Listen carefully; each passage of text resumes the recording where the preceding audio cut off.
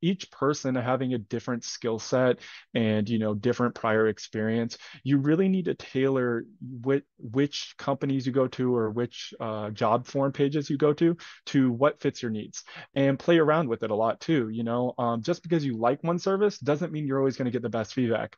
Go on apply for you know 200 jobs at one one site and 200 jobs at another site I think the first week, what I did is I did, you know, one day per site and then see which one got me the most feedback. And then I kind of like peer pressured onto that site. Um, I think total job applications, I applied for about 1,200, 1,400 in about uh, two and a half weeks. So it was, it was a lot. Um, I was trying to hit 100 to 150 a day.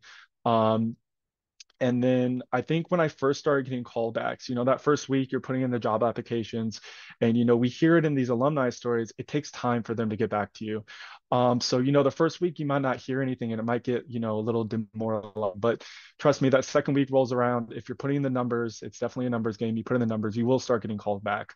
Um, and that's about when I started getting my calls back was that, you know, last week of Sabio um, I had quite a few interviews and I actually went through three rounds with the company I'm at now and had a final round the next Tuesday where they actually called me back and gave me the job.